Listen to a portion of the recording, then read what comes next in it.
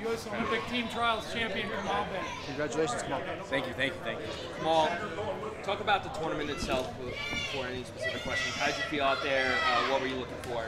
Talk about it. Uh, yeah, the tournament, I think I wrestled really well. Um, getting back out there after the uh, Olympic qualifier, I didn't do so well. So, you know, just kind of like flipping the switch, trying to find opportunities to win. Uh, now that, that that's complete, you know, I'm just kind of getting ready for May. You know, got a lot of people to take out, so.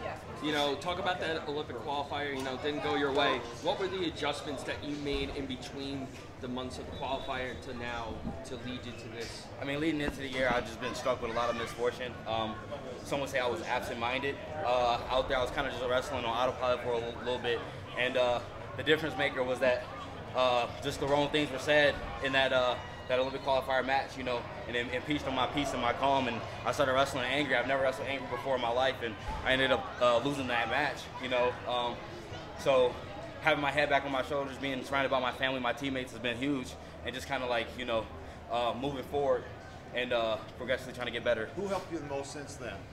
Uh, right now, Coach Hodge. Coach Hodge, man, he uh, he's a he's a women's freestyle coach for the WCAP program, um, but he's, he's like he's like a father figure. Like his words just hit me deep in my heart, and I knew I could do anything. Today, I was kind of struggling because we finished uh, extremely late the other night, so you know having to gear back up and lose all that weight for day two. Hodge was there with me in the weight in the uh, in the weight room, fitness room of our hotel, helping me cut the weight. Man, I was in there bawling my eyes out, man, because you know a lot of stuff in my heart was just building up. So very emotional. I'm super thankful, Hodge, if you watch this. You know, back when you won that Junior Worlds, everybody wanted you to be the future of this program. How have you dealt with it? How much have you grown since then? Uh, it's a lot. You know, you. Uh, I'm fortunate enough to have people who have done it. You know, uh, Tracy, Eldar. You know, good people in my corner, advisors, if you will. People who just like you know tell me to keep continuing down the path. You know, it's not gonna be. Uh, it's not gonna be you know Kamal Bey wrecking everything, you know, coming in fours, fives, whatever. There's going to be one-one matches that you got to win, the hard fought. So I'm thankful for those two, uh, especially just for like you know keeping my head on my shoulders. You mentioned misfortunes at the start of the year, like misfortunes in life or just the. So uh, I ended up making a clean sweep on uh, on uh, all the Greco uh, awards for the end of the year, and on that same day it was my birthday, and I ended up losing my little sister Star. Uh, for me, uh, being a leader, it, it kind of hits a lot harder because you know you got to be accountable for all your siblings. She was a she was a hard worker. She was a beautiful girl. Um, still, it was just too, too, soon. You know, if I could if I could go back, you know, I would in a, in a heartbeat. Um, after that, when I ended up losing one of my friends, uh, Gerald, uh, he was a referee in Colorado. Uh, super huge. I, when I used to work with him, work with him all the time, he used to make me laugh. So that one struck, in, and then I ended up losing my uncle. Um, a month ago when I was training in Croatia, my first day out there. So it's uh, a lot of loss, unfortunately, but you know, once again, family and teammates are the reason I was able to pull through.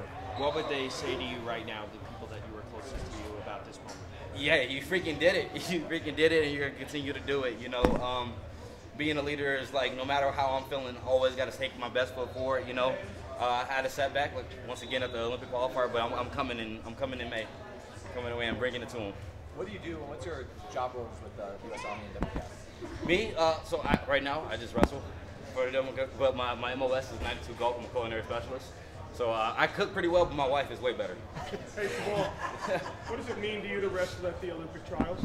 Uh, it's huge, man. Being, I had to sit out um, for the 21 Olympic trials uh, with my uh, band with USADA, so being able to come back and win it, like, it kind of just puts the stamp. Now all that's left to do is qualify it you know, because I, I want to go. I want to be that guy in Paris. I know I can do. I know I can do well. I know I can do good. Congratulations, sir. And just how Thank much you. has WCAP meant to your development?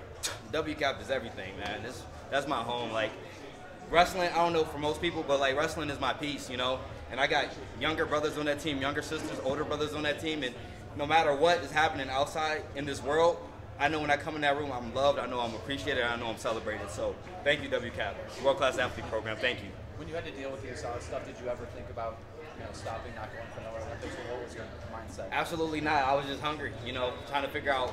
I've always been uh, a person who, who bounces back from bad things uh, pretty swiftly. With that one, I was just looking for a way to win, you know, and I got and I had got the right people in my ear who talked me into it. I got I did my basic training, my EIT, everything, and then they brought me in with open arms, and they've loved me ever since. Do you mind sharing what your tattoo is on your chest? Ambition, Ambition. ambition, ambition, and the one on my back is uh, strength and perseverance. It was the three things my dad said a man should always have: ambition, strength, and perseverance. And how long have you had those on? Oh, for a minute, I can't tell you my age when I got them.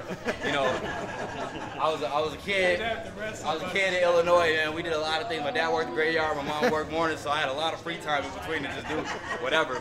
But when my mom first saw the tattoo, she's like, "You've been you've been wearing a shirt in the house for months now. Like you you never have your shirt on in the house." She's like, "What you got under there?" And I was like, "What you talking about, mom?" And she ripped it off me. She's like, "You got a tattoo?" I was like, "Yeah, yeah." It was a it was a conversation. It was a conversation that extended to when my dad got home. Your parents are still in your life, right? Oh yeah, both my, my mom and dad, both in my life. They're here right now. Uh, there are always the loudest people in the crowd. Usually when I'm like wrestling, I'm like locked in. All I can hear is like my coaches, uh, my coaches, and then I just hear my dad in the stands just barking, and I'm just like, all right, it's time to go. It's time to go. All right, I hear him just say, hit it, and I'm like, I don't even have anything locked up, but I'm like, okay, I got it. Good coaching. Uh, huge foundation. I mean, Illinois is just like, man, it's just a pool of talent. So many young dudes are in there just super athletic, super talented, really intelligent, and uh, they all just kind of like sharpen each other, man. Like I was fortunate enough to have one of the best rooms being Oak Park River Forest. We were the number one team in the country, and everybody in there was ranked top 10 in the, in the, in the country. So like practices were always hard, super intense, but it was fun because it was with your, your, your bros, it was with your team, you know, everybody beating each other up and then you go play basketball or something afterwards, you know. Um, so yeah, Illinois does a great job of just, you know, raising raising its kids to be, uh, you know, uh, good, good civilians, good civilians and just good in the community. Come on. Um, it looks like you guys have all the spots locked up except for heavyweight, so that sounds like all dubs, no cap. All dubs, no cap. I mean, we got we had uh, one guy from the uh, All Army. His name is Jeremiah. Man, he is a he is a good wrestler, dude. He is a good wrestler, super talented, and super nice, man. Like, I invited him over to my house. We watched the Dune movie, and then we went to the theaters and we watched Dune too. So like, that's how quick W Cap clicks. It's just like, hey, you like to fight, we like to fight too, and we'll fight for you. So. Awesome, Jamal,